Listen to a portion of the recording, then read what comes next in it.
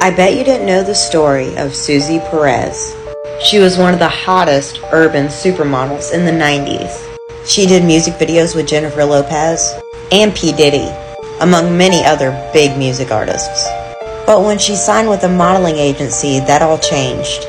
She was under contract and pretty much had to do whatever they told her to. She was horrifically tortured, violently assaulted, and intoxicated against her will many times over and over again by men in the agency. This took a horrific toll on Suzy. She fell in drug addiction to cope with the pain. She now fights every day with this drug addiction she's fallen into. And she's tried to seek help many times. But the trauma of what was done to her seems to be too much. If you enjoy my content here on TikTok, head over to my YouTube, which is Jamie13Horror. You'll really love the content there. It's longer and more in detail than what I can put on TikTok. So please head over to YouTube and subscribe to my channel.